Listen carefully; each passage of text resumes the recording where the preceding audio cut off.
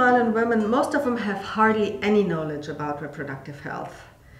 It's more the myths and the things that they've seen in their family, but there has not been any formal education on sexuality and on sexual and reproductive health.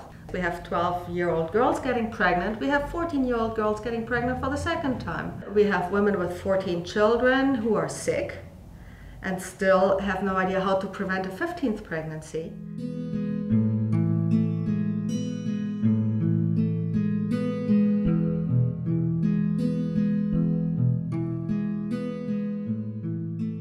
17 años cuando tuve a mi primer bebé. Fue una experiencia muy, muy conmovedora. Estaba contenta y al mismo tiempo estaba un poco triste. Tenía que dejar mis estudios por un año y era mi último año.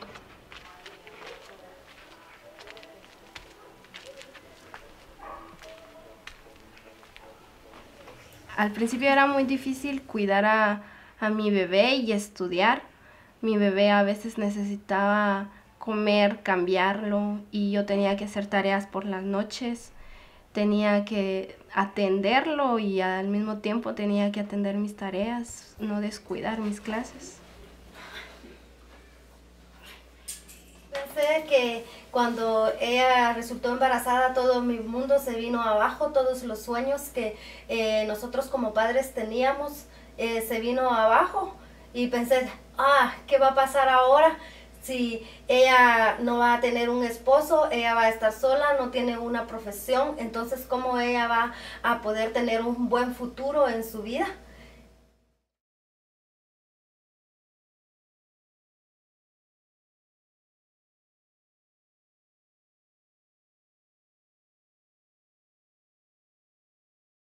Yo soy la única hija de una familia de seis, tengo tres hermanos y digamos que el machismo aquí en Guatemala está muy marcado y en mi familia también fue muy marcado, entonces yo era la encargada de, de ayudar con los oficios domésticos de la casa y mi papá fue muy duro conmigo también por ser la única mujer. Entonces eh, tu, sufrí bastante violencia física por parte de mi papá, por parte de mis hermanos también. Y yo nunca estuve conforme con eso, o sea, siempre fui muy rebelde por eso, porque no eh, creía merecer ese tipo de trato. Sabía que no lo merecía y por eso también siempre luché en contra de la corriente, incluso en contra de la religión, porque era una familia muy religiosa. Is a diabetic and we've been monitoring her. She's measuring really big, so we wanted to know how big this baby was. And I can't give you exact weight in, in pounds, but he looks too big for gestational age, so we're worried that she might not be able to push him out if we let it go any longer. Leila estaba embarazada, tenía seis meses de gestación. Empezó con dolor en su estómago. La llevamos al hospital, eh, la examinaron y dijeron que tenía una eh, gastritis y que tenía quistes en su vesícula. Le dieron una medicina y regresamos a la casa. Pero ella siguió con dolores más fuertes. Entonces buscamos un doctor particular el día sábado y el doctor siempre dijo que ella necesitaba ir al hospital porque en una clínica particular no hay aparatos para examinar profundamente qué es lo que tiene. There's an urgent need in all of Guatemala for respectful and holistic women's health care. The public system doesn't provide it. Uh, women have a hard time with the long waiting time in the public system for them to be seen for about three minutes, not being able to ask any questions, and not actually knowing what's going on with them. Las mujeres no tienen conocimiento de cómo cuidar de su salud. Le han dado ese derecho a otras personas, a los médicos, a los maestros, pero ellas no se sienten como empoderadas ni dueñas de su propio cuerpo. Entonces yo creo que es muy importante como educar a las mujeres para que ellas empiecen a ser dueñas de wanted an integrated women's health center where women actually didn't need to go anywhere else for any of their health needs. So they could come in for their first GYN visit, they could go on getting their contraceptive method, they would get their routine GYN care. When they decided to get pregnant, they could have the baby with us and then keep coming throughout the whole life cycle. Llegué a manos abiertas porque empecé a trabajar en una organización en Chimaltenango donde coordinaba un proyecto también para mujeres, pero del área rural. Y ahí pues empecé a trabajar todo este tema de mujeres. El problema ya era que no podía desempeñar mi trabajo como yo quería. Cuando tuve la oportunidad de mudarme, eh, renuncié allá, me vine para manos abiertas y acá sí tengo el chance de poder apoyar a las mujeres de manera más completa.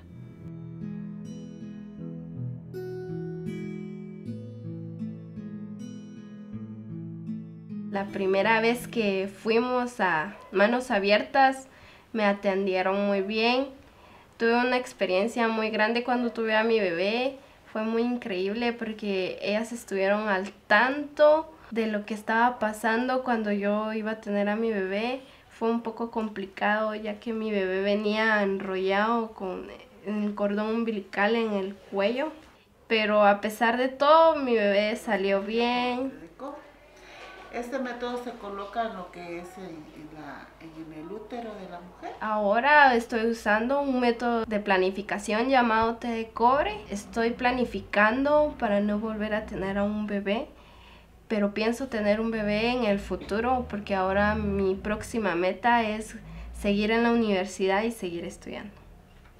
Manos Abiertas provide a safe haven for women regarding all their sexual reproductive health needs. Women come in just because they want to ask us questions.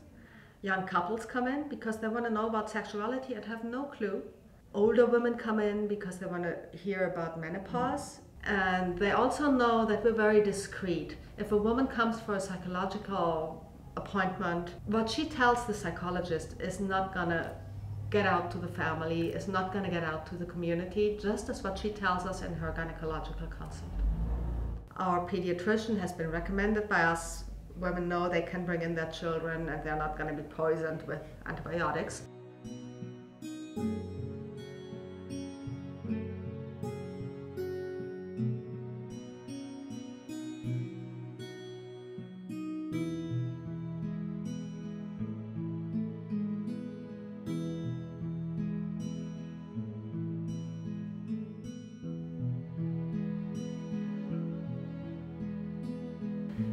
Get cases like Maria,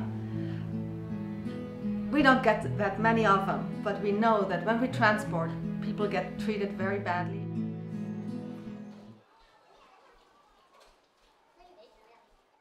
Leila la regresamos a maternidad del hospital lunes, como a las 6 de la mañana, donde la trataron muy mal. Ellos le dijeron que ella tenía que bajarse la camilla, que caminara, pero ella ya casi no hablaba, ella ya casi no podía caminar y la llevamos en una silla de ruedas, pero ella, se, ella tenía dificultad para respirar. Se le acercó otra doctora y le dijo que por qué respiraba así. Y ella le dijo que porque le dolía mucho y que no podía respirar.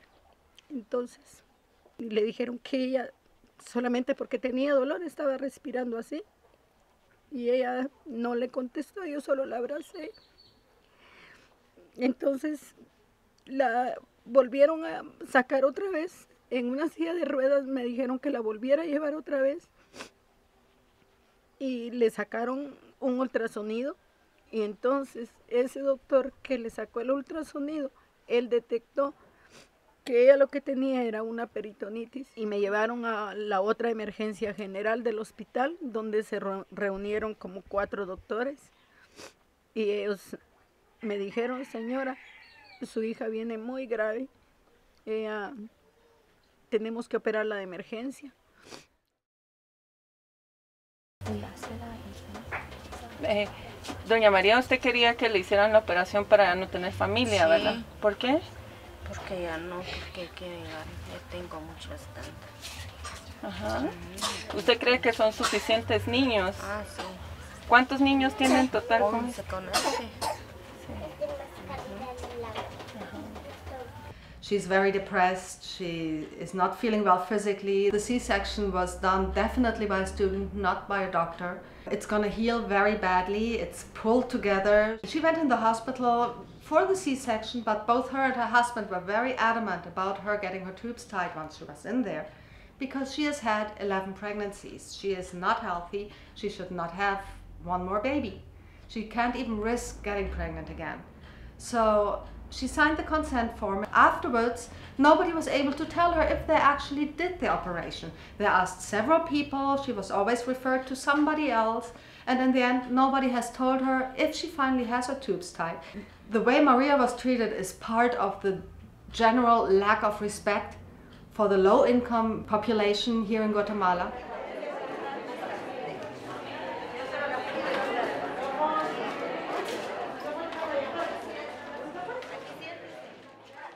El día lunes, Leila salió de, de, cirugía y el doctor que la operó me dijo, señora, quisiera darle buenas esperanzas, pero no puedo porque no hay aparatos especiales para hacer lo que teníamos que hacerle a ella. Ella tenía una peritonitis y se le sacó un litro de, de pus y así es de que yo no puedo darle buenas noticias, me dijo. 11 de la mañana me llamaron para decirme que fuera de emergencia porque el doctor quería hablar conmigo. Yo corrí y llegué a las 12 menos cuarto al, al hospital y me dijeron que, que ella había fallecido a las 11 de la mañana. Entonces, ese fue el final de ella. Cuando pudieron haberla operado antes y haber evitado que ella muriera y su bebé. Ahí terminó la vida de Leila.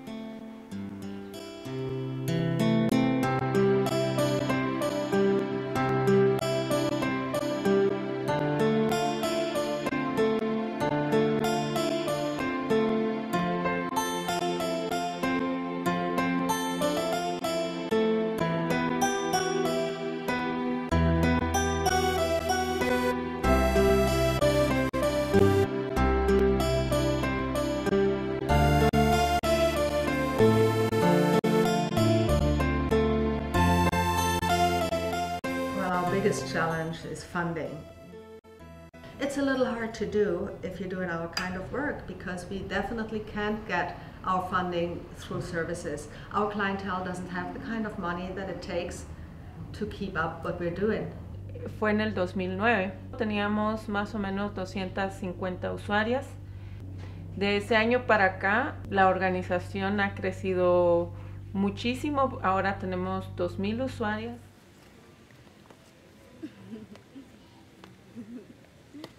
Bueno, ahora tengo 18 años y voy a terminar de cursar mi último año de secretariado.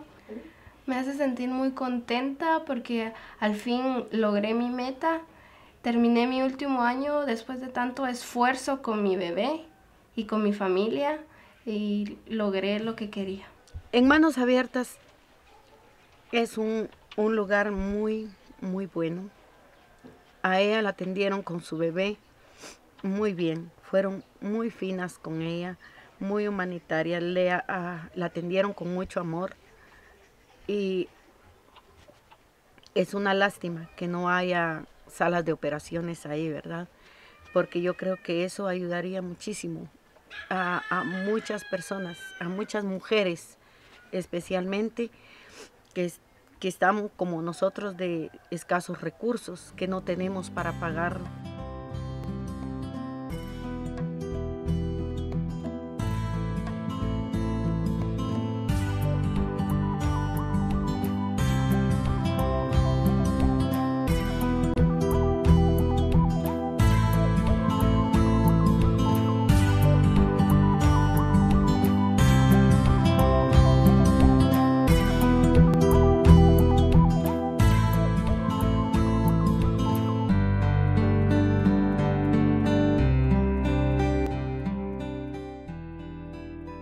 Success for this clinic is in 15 years to have in place not just a few more clinics all over the country in places where they are most needed.